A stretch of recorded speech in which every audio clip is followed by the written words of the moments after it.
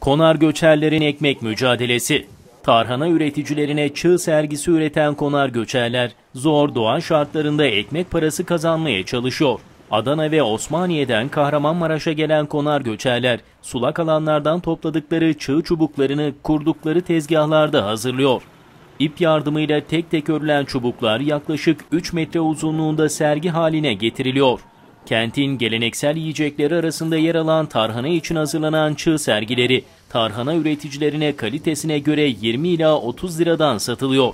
Çığ sergisi üreticileri üretim ve satış yapmak için uygun yer istiyor.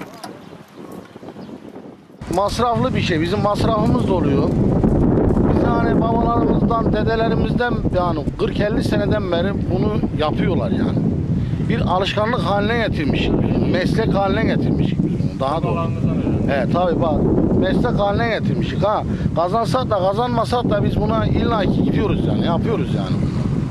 He, amma, az, amma az kazanıyor ama çok kazanıyor yani bizim bu bir geçim kaynağımız sonuçta yani. Buraya geliyor işte biz satmaya geliyor bunu yani. Bunu başka bir memleket yani kesinlikle ne bilir ne de alır yani. Ha, sadece Kahramanmaraş ili yani bunun üzerinde tarhana kurudur. Bizim burada bu kaldığımız yerde en azından 30-40 seneden beri bizim bura belli bir mekanımız.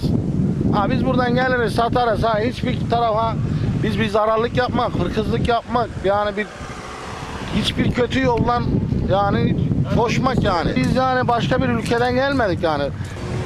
Biz kimsenin yani bir bağına bahçesine girmiyor. Kimseye bir zarar vermiyor. Ha sadece bizim burada bir ay bir ay yani en fazla bir ay yani bunun biz sattıktan geri sata bize burada kal deseler bile ben gene kalmak yani biz burada. Kahramanmaraş'ın doğal geleneksel şeylerini yapıyoruz.